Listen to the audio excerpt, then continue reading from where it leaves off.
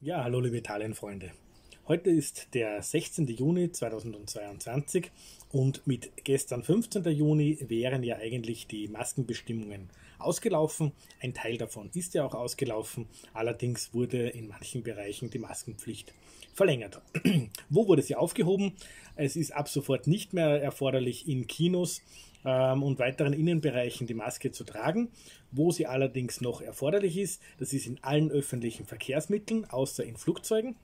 Ähm, begründet wird das damit, dass Flugzeuge ein besseres Belüftungssystem haben und hier die Ansteckungsgefahr sehr gering ist. Ähm, das heißt, in allen Verkehrsmitteln, öffentlichen Verkehrsmitteln, in jedem Bus, im Vaporetto nach Venedig, ähm, auf Schiffen, Zügen etc. Also überall, wo äh, die Öffentlichkeit Zugang hat zu öffentlichen Verkehrsmitteln, da gilt nach wie vor Maskenpflicht. Des Weiteren gilt die Maskenpflicht in Gesundheitseinrichtungen, in Altenheimen und natürlich auch beim Arztbesuch. Das heißt, es ist natürlich, es plant niemand einen Arztbesuch im Urlaub. Allerdings äh, sollte ganz einfach die Maske mit ins Reisegepäck, denn dann ist man für einen eventuellen Besuch beim Arzt gerüstet. Welche Maske muss es sein? Es muss, in der Verordnung steht es eindeutig drinnen, eine FFP2-Maske sein und, und äh, das Ganze ist, gilt ab sechs Jahren, das heißt Kinder vor dem sechsten Geburtstag sind davon ausgenommen, ab dem sechsten Geburtstag müssen diese auch eine FFP2-Maske tragen. Das sind äh, die Bestimmungen, die verlängert wurden und sie wurden verlängert bis zum 30. September 2022. Das heißt, den ganzen Sommer über.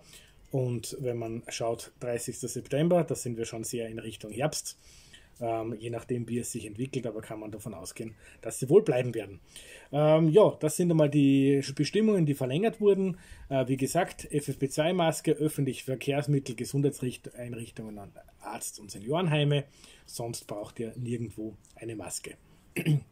Ob es in Gedränge sinnvoll sein kann oder nicht, sie zu tragen, das bleibt jedem selbst überlassen. Sie wird nach wie vor empfohlen für Innenbereiche, aber eine Empfehlung ist keine Pflicht. Und wenn man schaut, was mit einer Empfehlung passiert, es trägt sie keiner mehr. Die Zahlen gehen momentan wieder nach oben, aber wie man gesehen hat in Portugal, das war eine kurze Welle, die ist auch schon wieder am Abetten und äh, führt zu keinerlei Überlastungen des Gesundheitssystems.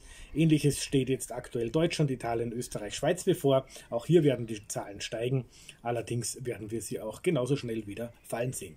In diesem Sinne, macht euch bitte keine Sorgen, bleibt trotzdem äh, positiv eingestellt, beim Test möglich negativ. Und äh, ich wünsche euch einen wunderschönen Sommer. Bis bald. Arrivederci und ciao.